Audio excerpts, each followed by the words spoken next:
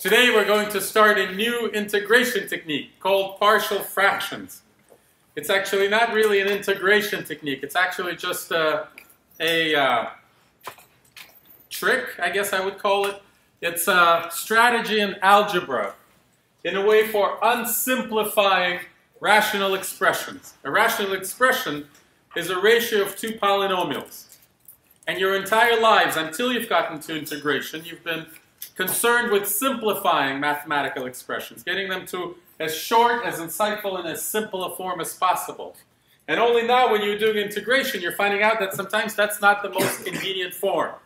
And you've already seen many examples of that, where unsimplifying an expression actually reveals it as a result of some differentiation procedure. And so then you're able to undo that differentiation procedure, which is integration.